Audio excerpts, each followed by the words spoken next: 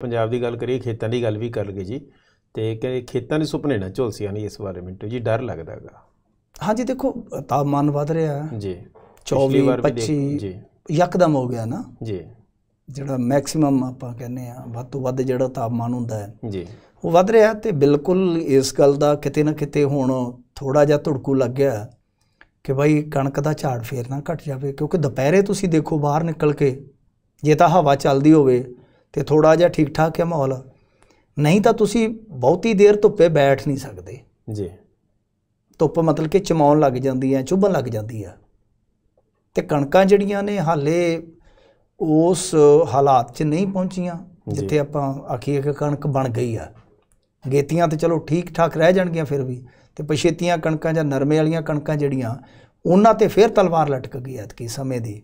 ਜੀ। ਕਿ ਜੇ ਇਸੇ ਤਰ੍ਹਾਂ ਗਰਮੀ ਪਈ ਪਰ ਰਿਲੀਫ ਵਾਲੀ ਗੱਲ ਇਹ ਆ ਜਾਂ ਕਹਿ ਲਓ ਕਿ ਇੱਕ ਰਾਹਤ ਵਾਲੀ ਗੱਲ ਜਿਹੜੀ ਹੈ ਉਹ ਇਹ ਆ ਕਿ ਪੈਸ਼ੀਨ ਗੋਈ ਇਹ ਆ ਕਿ ਮੀਂਹ ਪੈ ਸਕਦਾ ਹੈ 2-4 ਦਿਨਾਂ ਦੇ ਵਿੱਚ ਵਿੱਚ ਪੰਜਾਬ ਦੇ ਅੰਦਰ ਮੀਂਹ ਹੈ। ਜੀ। ਦੱਸਿਆ ਜਾ ਰਿਹਾ ਪੈਸ਼ੀਨ ਗੋਈ ਆ ਕਈ ਵਾਰ ਪੈਸ਼ੀਨ ਗੋਈ ਜਿਹੜੀ ਆ ਉਹ ਗਲਤ ਵੀ ਸਾਬਤ ਹੁੰਦੀ ਹੈ ਕਿਉਂਕਿ ਮੌਸਮ ਦੀ ਭਵਿੱਖਬਾਣੀ ਤੁਹਾਨੂੰ ਪਤਾ ਹੀ ਆ ਜੀ। ਕਿ ਇਹਦੇ ਚ ਖਦਸ਼ਾ ਰਹਿੰਦਾ ਇਹਨਾਂ ਚੀਜ਼ਾਂ ਦਾ। ਤਾਂ ਖੈਰ ਦੁਆ ਕਰਦੇ ਆ ਐਤਕੀ ਨਾ ਝਾੜ ਕੱਟੇ ਕਿਉਂਕਿ ਪਿਛਲੀ ਵਾਰੀ ਸਾਡਾ ਆਲਮੋਸਟ ਤੁਸੀਂ ਦੇਖੋਗੇ ਤਾਂ 7000 ਕਰੋੜ ਦਾ ਘਸਾਰਾ ਸੀਗਾ। ਜੀ। 7000 ਕਰੋੜ ਦਾ ਕਿਸਾਨ ਦਾ ਨੁਕਸਾਨ ਹੋਇਆ ਸੀਗਾ। 7000 ਕਰੋੜ ਰੁਪਈਆ ਉਹ ਜਿਹੜਾ ਸਾਡੇ ਬਾਜ਼ਾਰ ਚ ਆਉਣਾ ਸੀਗਾ ਉਹ ਮਤਲਬ ਕਿ ਸਾਡੇ ਹੱਥੋਂ ਨਿਕਲ ਗਿਆ। ਜੀ। ਐਤਕੀ ਦੁਆ ਕਰਦੇ ਆ ਹੱਥ ਜੋੜਦੇ ਆ ਪਰਮਾਤਮਾ ਅੱਗੇ ਕਿ ਐਤਕੀ ਉਹ ਨੌਬਤ ਨਾ ਆਵੇ। ਜੀ ਜੀ ਜੀ ਜੀ ਬਿਲਕੁਲ ਬਿਲਕੁਲ ਜੀ। ਇਧਰੋਂ ਅਮਰਤਪਾਲ ਜੀ ਕਹਿ ਰਿਹਾ ਕਿ ਕੋਟਲਾ ਬਾਮਾ ਜੀ ਫਤਿਹਗੜ੍ਹ ਚੂੜੀਆਂ ਹਲਕਾ ਸਾਡਾ।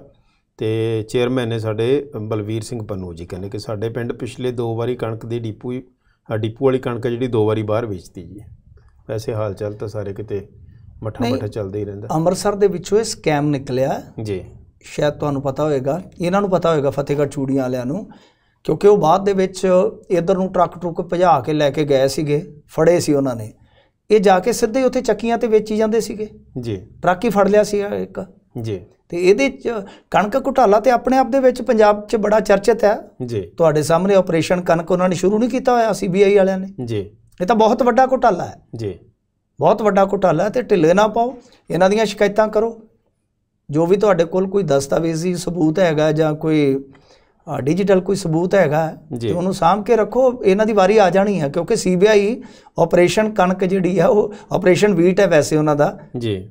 ਉਹ ਆਪਰੇਸ਼ਨ ਵੀਟ ਸ਼ੁਰੂ ਕਰੀ ਬੈਠੀ ਆ। ਜੀ। ਤੇ ਬਹੁਤ ਵੱਡੀ ਧਾਂਦਲੀ ਹੈ ਮਾਝੇ ਦੇ ਵਿੱਚ ਬਿਲਕੁਲ ਇਹਨਾਂ ਦੀ ਗੱਲ ਸਹੀ ਹੋ ਸਕਦੀ ਆ ਕਿਉਂਕਿ ਮਾਝੇ ਚੋਂ ਹੀ ਇਹ ਫੜਿਆ ਗਿਆ ਸੀਗਾ। ਉੱਥੋਂ ਹੀ ਕੰਮ ਤੁਰਿਆ ਮੁੜ ਕੇ ਇਹ। ਤੇ ਵੈਸੇ ਤਾਂ ਉਹਦੇ ਵਿੱਚ ਤੁਸੀਂ ਦੇਖਿਆ ਹੀ ਹੋਣਾ ਕਿ ਗੋਦਾਮਾਂ ਤੱਕ ਗਾਂ ਚੌਂਕੀਦਾਰਾਂ ਤੱਕ ਰਲੇ ਪਏ ਸਨ। ਜੀ। ਹਰੇਕ ਨੂੰ ਮਤਲਬ ਕਿ ਟਰੱਕ ਦੇ ਪਿੱਛੇ ਜਿੰਨੀਆਂ ਬੋਰੀਆਂ ਕਿਸੇ ਨੂੰ ਉਸ ਹਿਸਾਬ ਨਾਲ ਕਿਸੇ ਨੂੰ ਉਸ ਹਿਸਾਬ ਨਾਲ ਬਹੁਤ ਵੱਡਾ ਸਕੈਮ ਇਹ ਬਣਿਆ ਪਿਆ ਕਣਕ ਵਾਲਾ। ਜੀ ਜੀ ਜੀ।